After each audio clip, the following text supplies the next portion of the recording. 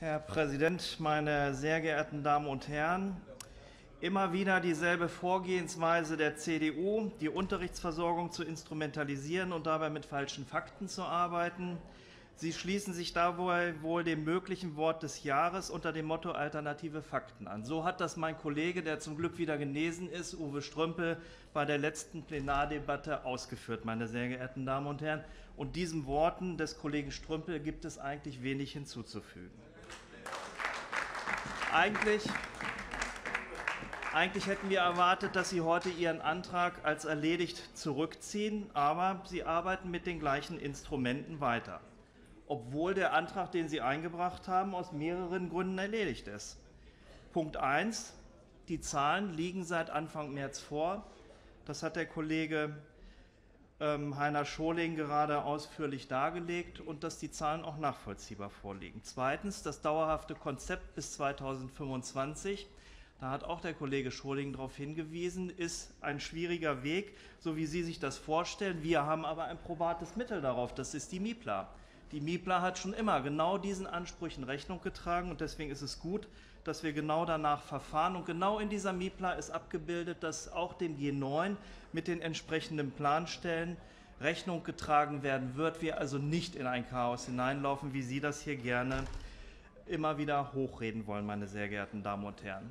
Und deswegen bleibt eigentlich nur die Frage übrig bei Ihrem Antrag, worum es Ihnen eigentlich geht. Erstens Klamauk, zweitens Vertuschen von eigenem Versagen, meine sehr geehrten Damen und Herren. Und das ist das eigentliche Tragische an Ihrem Antrag. Herr, Herr Seefried, Sie haben gerade die rein statistischen Daten kritisiert, äh, die immer nur vorgelegt würden und dass man sich nur an Statistiken abarbeiten würde. Aber das, was Sie gerade gemacht haben, war ein Aneinanderreihen von Zahlen, die Sie einfach in den Raum gestellt haben, statistisch, ohne irgendeinen inhaltlichen Zusammenhang. Und ich glaube, dass das genau mit dem Punkt zusammenhängt, dass Sie von dem eigenen Versagen an dieser Stelle ablenken wollen, dass Sie nämlich die Ursachen dafür dafür zu verantworten haben, was in Niedersachsen derzeit der Fall ist. Sie verdrehen die Tatsachen, indem Sie die Unterrichtsversorgung alt vor 2013 mit der Unterrichtsversorgung heute vergleichen. Also ein Vergleich von Äpfeln und Birnen an dieser Stelle. Sie haben die Unterrichtsversorgung 2004 geschönt, indem Sie umgestellt haben von schülerbezogenem auf klassenbezogenen Schlüssel und damit die Unterrichtsversorgung mal eben um 4 Prozent von 98 Prozent auf 102 Prozent erhöht haben, meine sehr geehrten Damen und Herren. Das ist ein Griff in die Trickkiste, das ist Mauschelei und das ist keine ehrliche und zukunftsorientierte Bildungspolitik, meine sehr geehrten Damen und Herren. Und Sie verschweigen immer bewusst in der Debatte, dass es eigentlich um die Sollstunden geht und wie sich die Sollstunden zusammensetzen.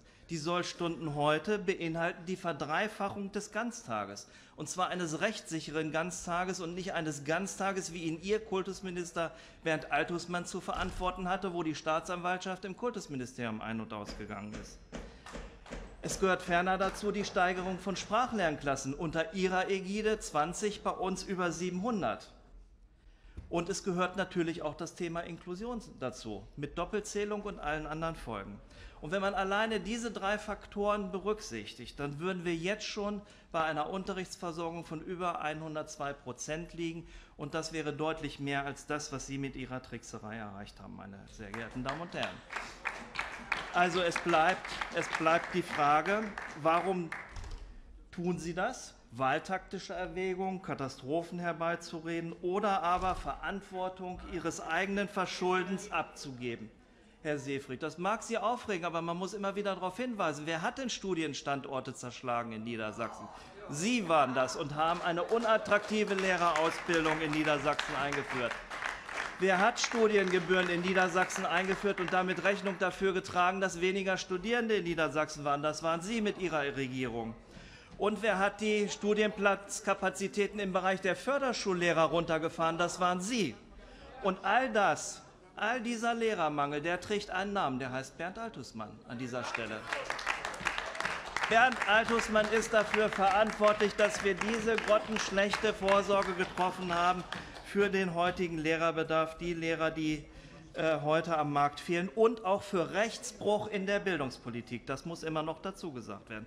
Und er hat auch einen ganz tollen Vorschlag in den Raum gestellt, wie man dem allen Rechnung tragen könnte. Wir streichen die Anrechnungsstunden bei den Lehrerinnen und Lehrern. Was heißt das, wenn wir die Anrechnungsstunden bei den Lehrerinnen und Lehrern streichen? Sie verlängern die Arbeitszeit, meine sehr geehrten Damen und Herren, und zwar für alle Lehrkräfte.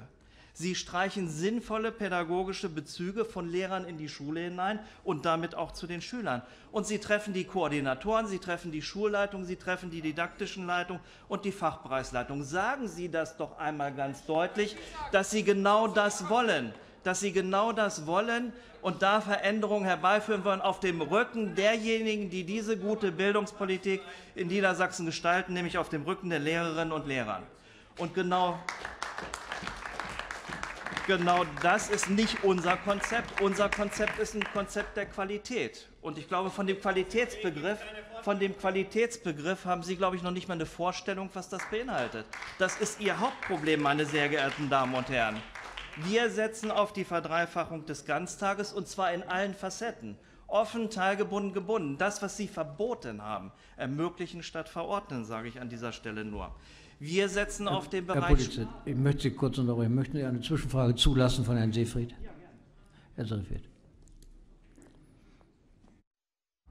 Vielen Dank, Herr Kollege. Wo Sie gerade so viel über die angebliche Qualität sprechen, würde ich gern von Ihnen wissen, warum denn im Niedersächsischen Landesinstitut für Qualitätsentwicklung die Lehrerfortbildung und Schulleitung Qualifizierung ausgesetzt werden.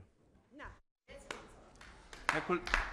Bitte Herr schön. Kollege Seefried, äh, das ist im Moment gerade eine Behauptung, die Sie hier in den Raum gestellt haben. Das ist ja auch eine Frage, die Sie an die Kultusministerin vorhin bereits äh, gestellt haben. Ich gehe davon aus, dass Sie auch eine Antwort davon, darauf kriegen. Aber bis auf die Behauptung derzeit habe ich jetzt keinen Beleg dafür, dass dauerhaft dieser Bereich ausgesetzt worden ist. Wir werden diesem Hinweis natürlich nachgehen und äh, prüfen, wie man auch da qualitativ weiterarbeiten wird. Ich bin fest davon überzeugt, dass das Kultusministerium auf jeden Fall an der Qualitätsschraube nicht drehen wird, meine sehr geehrten Damen und Herren. Also, wie gesagt, zu dem Bereich Qualität gehört bei uns der Ganztag. Da gehört insbesondere das Thema Sprache dazu, da gehört das Thema Inklusion dazu und da gehört auch ein ganz anderes wichtiges Thema dazu. Das ist die soziale Arbeit an Schule. Das Thema, was Sie völlig in den Sand gesetzt haben. Wir haben soziale Arbeit an Schule in Landesverantwortung übernommen. Wir haben deutlich aufgestockt um über 30 Prozent. Und äh, jetzt werden jährlich über 300 Millionen Euro in den Bereich soziale Arbeit an Schulen hineingegeben, um dort eine gute und qualitative Arbeit machen zu können. Und das bringt eins zum Ausdruck. Diese Ministerin steuert, diese rot-grüne Fraktion trägt diese Steuerung in der Bildungspolitik und diese Landesregierung hat überhaupt keinen Grund aufzugeben. Denn mehr als Geschrei und Klamauk werfen sie derzeit nicht in die Waagschale und das zeigt, dass sie auf der richtigen Seite des Hauses sitzen, in der Opposition und da werden sie auch nach dem 14. Januar 2018 noch sitzen.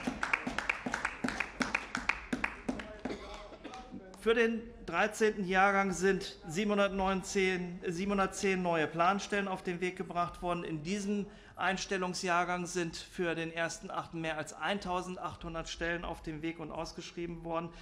Wir werden im nächsten Jahr einen deutlichen Rücklauf aus den Studienseminaren haben, der die äh, Unterrichtsversorgung weiter verbessern wird. Insbesondere im Bereich der Oberschulen ist ganz deutlich ausgeschrieben worden. Das ist der Bereich, den Sie gestern uns vorgeworfen haben, in dem wir ein äh, sparen würden. Es wird eine bedarfsgerechte Planung und auch Nachsteuerung geben.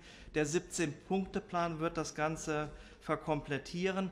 Und von daher ist diese Bildungspolitik auch weiterhin auf einem guten Weg. Wir setzen auf Qualität, Sie setzen auf Klamauk und Geschrei und deswegen werden Sie auch am 15. Januar 2018 noch auf der Oppositionsbank sitzen.